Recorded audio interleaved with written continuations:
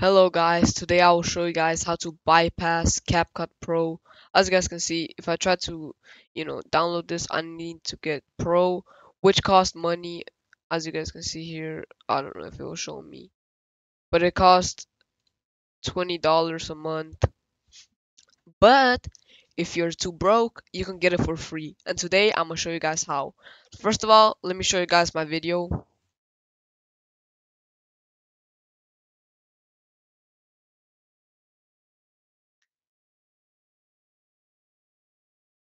Okay, that is the video.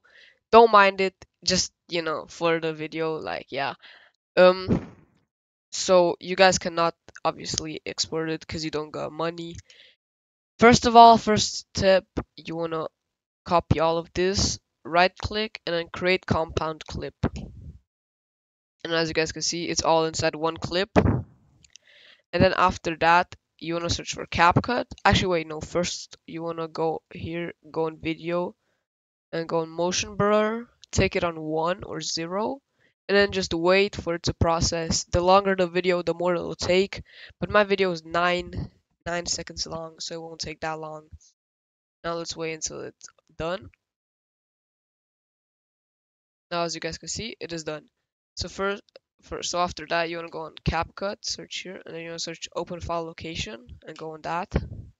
Then you want to right click it, Open File Location once again. Then you want to press CapCut up here, and then User Data, Cache.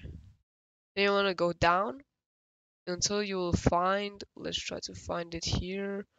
Where is it? Motion Blur Cache. Alright, I mean double click it. as you guys can see, the video is right here. And then you can put it in here. Hold on. Yeah, and put it here. And you wanna put it in here, and then this clip under, you're gonna deactivate it. Where's deactivate deactivate clip? And then wait, why are both clips deactivated? Um activate clip. The one under I guess just deleted, but this is kind of bugged for me for some reason. Um it's clicked on both. There we go. Just delete it and then put this one in. Wait, this one in, I mean. The original clip. And you can actually export it, as you guys can see here, without any problems. So yeah, if you guys enjoyed this, please like and subscribe. And yeah, see you guys next one. Peace out.